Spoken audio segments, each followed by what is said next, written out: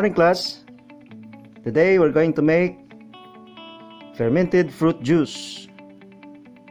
These are the materials we're going to prepare. For fruits, we need banana, dried oyster mushrooms, potato, and mixed with molasses. Pag wala pong molasses, pwede ang muscovado sugar. Okay, pakisulat na ating mga fruits. Also, we need the following. Chopping board, knife, wooden ladle, scissor, rubber band, packaging tape, weighing scale, Manila paper, container, strainer.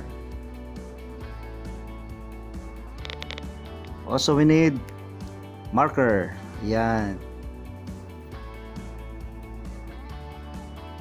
Okay, so explain ko po.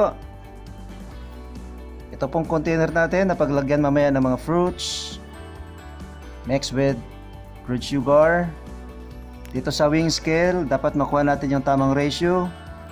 Itong Manila pepper, pang cover po mamaya. Rubber band, pantali. Ito naman, marker para naisulat natin mamaya yung production date at saka yung harvest date. Okay, yan lang po. So let's start.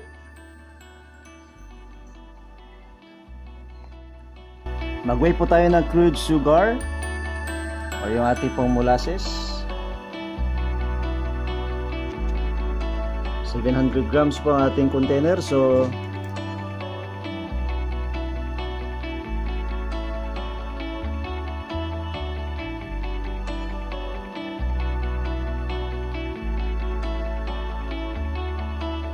Alright, so ating crude sugar po ay 500 grams.